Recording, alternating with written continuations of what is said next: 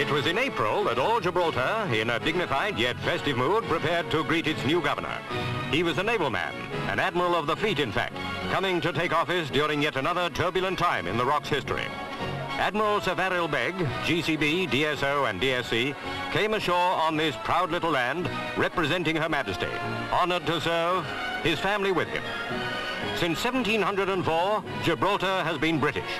Pressure in one form or another from General Franco's Spain tried to change that, unsuccessfully. The Admiral had come knowing that the people of Gibraltar had, in no uncertain way, said, British we are, and British we stay. Under the patriotic eyes of Gibraltarians, Sir Varyl Begg inspected the Guard of Honour, aware that ahead of him and the place that was now his home lay many trials and tests of courage. Gibraltar knows the meaning of the word siege. General Franco has now sealed the last land entry to the rock. The sea, however, is still a gateway, and the Admiral is a man of the sea. When he accepted the keys of the fortress, it was more than a symbolic handing over.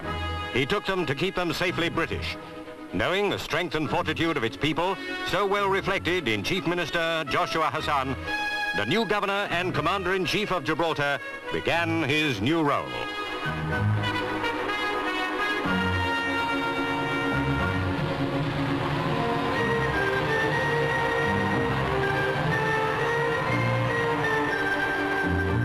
In the lovely grounds of his home, the governor faces the Rock's latest problems in the same manner as the citizens, with calm assurance.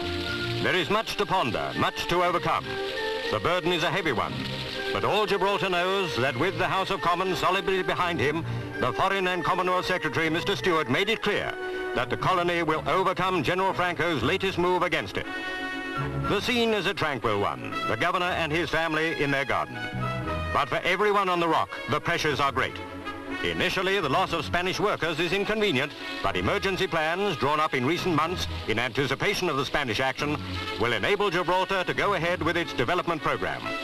The governor has a job to do, and all Gibraltarians know that Britain stands squarely with him and them.